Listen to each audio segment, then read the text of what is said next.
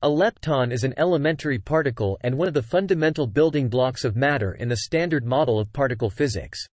Leptons are a type of fermion, which means they obey Fermi-Dirac statistics and obey the Pauli exclusion principle. Leptons are distinguished from another class of fermions called quarks. Leptons are characterized by several key properties. Spin. Leptons have a spin of one half, a fundamental property that contributes to their intrinsic angular momentum. Charge. Leptons have electric charge, and there are two types of leptons based on their charge.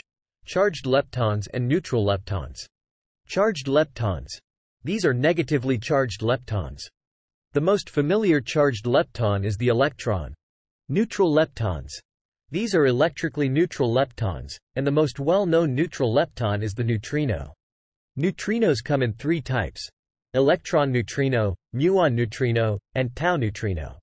Leptons are unique in that they do not experience the strong nuclear force that binds quarks together to form protons and neutrons. They only interact via the electromagnetic force and the weak nuclear force, making them relatively non-interacting compared to other particles.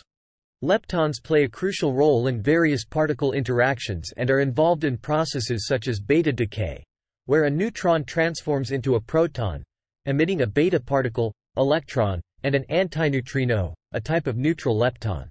The conservation of lepton number is an important principle in particle interactions, stating that the total number of leptons minus the total number of antileptons remains constant during certain interactions.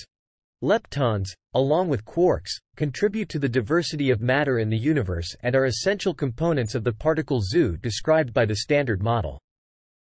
Subscribe for more videos. Thanks for watching.